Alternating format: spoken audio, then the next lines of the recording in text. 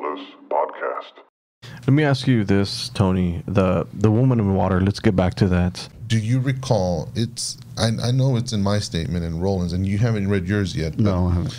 Do you remember as we were on our way to find, or as we were looking for for people, seeing a lady, and we were like, and we could hear. Yes, yes, yes. She was wearing white.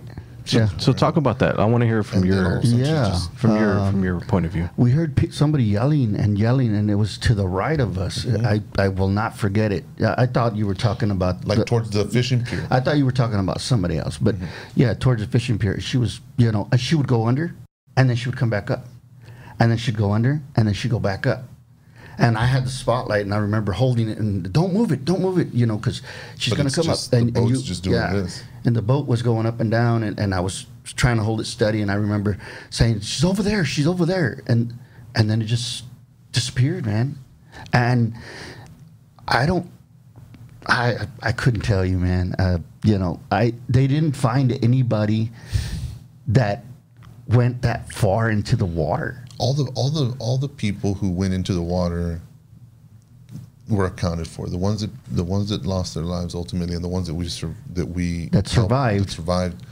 where everybody was accounted for. Um, I maintain still to this day that that lady got our attention that brought us to Renee. Yeah, Do you do you recall going to the hospital where Rene was recovering? yeah. Do you remember what the dad told us about the room he was in? I vaguely. That his mother had just passed away Oh yeah, yeah, yeah, yeah, yeah. in that yeah. very room he was recovering. in. Yeah. said, my, my wife died in this room. Two And you weeks said there was also a picture. picture of a lady in a white dress. yeah, Wow. and and, and Bridget and everybody was just like, Yeah, and, and and it's it's funny because, like I say, nobody, everybody was accounted for under the bridge, and the three that weren't under the bridge were on our vessel. Mm-hmm. So, but I, man, I swear on my life that, that you know, three or four times she came up, she came down, she came up, she came down, and and it- it was just weird, and they kept yelling and yelling mm-hmm. and yelling and it's like if you could almost never get to her. yeah.